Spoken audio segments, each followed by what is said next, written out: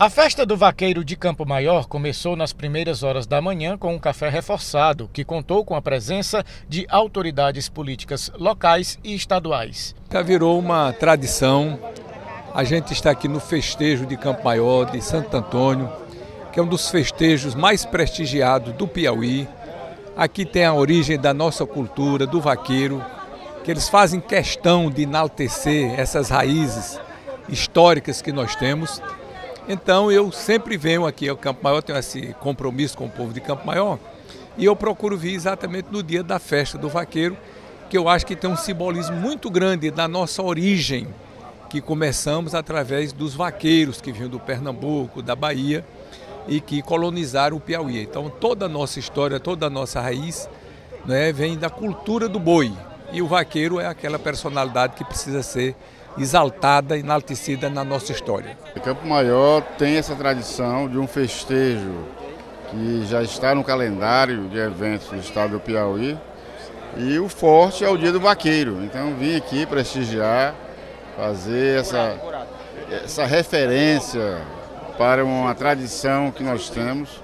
A economia do Piauí começou a crescer a partir do trabalho e da ação dos vaqueiros.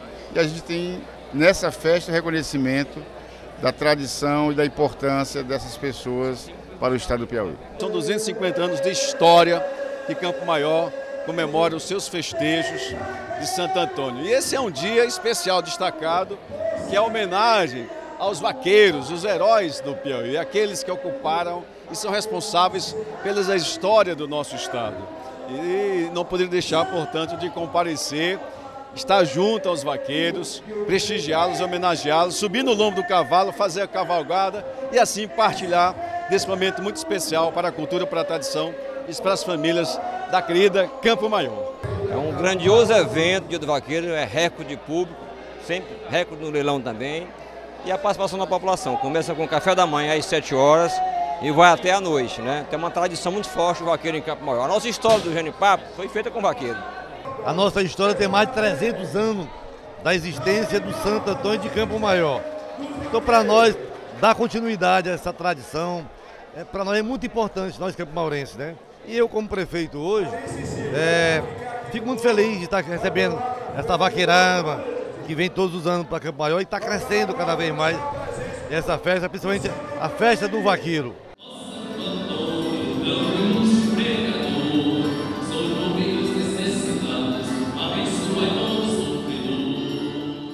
A entrada da imagem secular de Santo Antônio marcou o início da missa.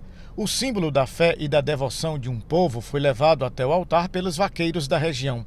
A celebração já é uma tradição dos festejos de Campo Maior, município distante 89 quilômetros de Teresina. O som do berrante foi o ponto alto da missa.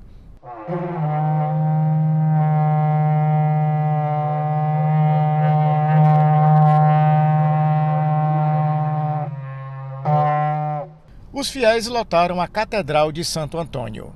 Nenhuma cidade do Nordeste existiria se não fosse o deslocamento do vaqueiro para os interiores, os sertões.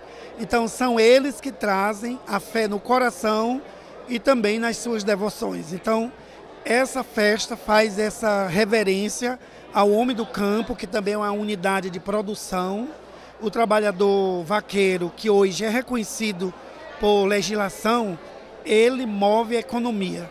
Então, o festejo de Santo Antônio não existiria se não fosse o vaqueiro. Então, esse é um dia glorioso que eles dedicam a Santo Antônio, trazendo suas farturas, sua família, sua cultura e sua fé.